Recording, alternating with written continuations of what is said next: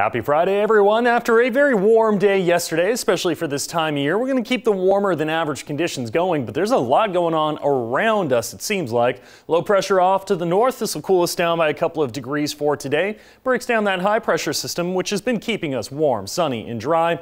Not really in a hurry to leave, though, so as we see low pressure move on out, high pressure builds back in. See that bump in the atmosphere right there? Well, that'll keep us mostly on the warmer, drier side of things through Halloween Saturday into Sunday possibly Monday, Tuesday, and then things get a little more interesting as we go towards about Wednesday, Thursday of next week. High pressure finally starts to move on in off of the coast, and as it does, one, two, maybe three systems over the next few days into late next week. Showers are possible Wednesday, Thursday, possibly Friday and Saturday of next week. Now that is projecting out quite a bit. We're talking seven, eight, nine days out. Usually we only like to go about six or seven. So the potential is there. We'll see exactly how this trends because high pressure still in the area as you look over the northwest. That'll eventually continue to move on in as it does opening, we call it the storm door, the potential for more showers. So it'd be nice to see some rainfall out there after what was a very dry October. We did have some showers towards the beginning of the month, and as we go into next week, could see some showers towards the beginning of November, which would be nice. The front itself, it's a decent one, but it's staying mainly to the north of us, so the Seattle area, Portland, possibly Eugene seeing some showers.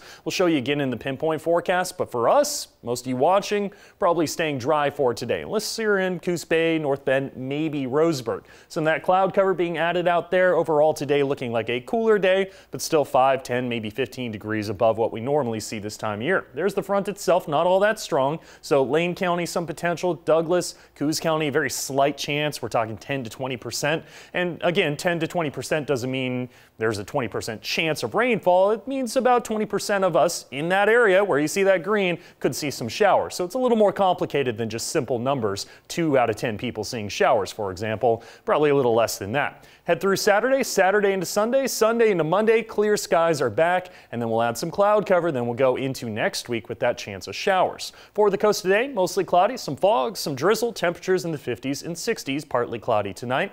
And the West Valley's temperatures topping out a lot like what we saw yesterday, a few degrees cooler though. 72 for Medford under mostly sunny skies. A bit more cloud cover late tonight into tomorrow, maybe some patchy drizzle and fog for Douglas County. And east of the Cascades should be a dry day, temperatures in the 50s and 60s and once again fairly cold late tonight into tomorrow.